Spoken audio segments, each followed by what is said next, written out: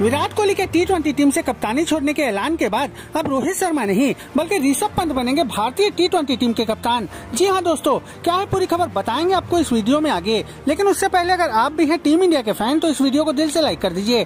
साथ ही चैनल पर नए हैं तो सब्सक्राइब कर बेल आइकन को ऑल पर सेलेक्ट करना बिल्कुल भी ना भूलें, जिससे हमारी अगले आने वाली कोई भी वीडियो की नोटिफिकेशन सबसे पहले आप तक पहुँच सके।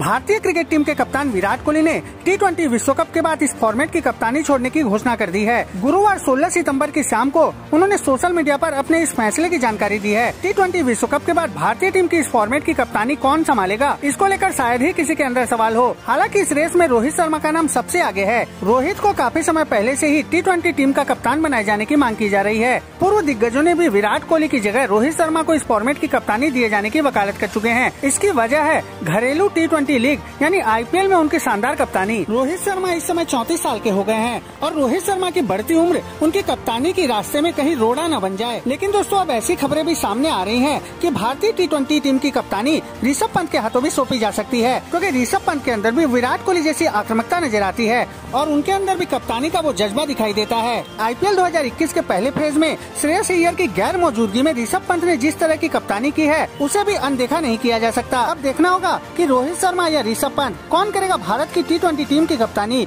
ये तो आने वाला समय ही बताएगा। लेकिन दोस्तों, आप अपनी राय इस पर देना बिल्कुल भी ना भूलें। आपको ये वीडियो पसंद आया हो तो ज़्यादा ऐसी ज़्यादा लोगों तक शेयर कीजिए। साथ ही क्रिकेट के मैदान ऐसी जुड़ी ऐसी ही और खबरें पाने के लिए हमारे चैनल को सब्सक्राइब करना बिल्कुल भी ना भूलें। अपना बहुमूल्य समय देने के लिए धन्यवाद।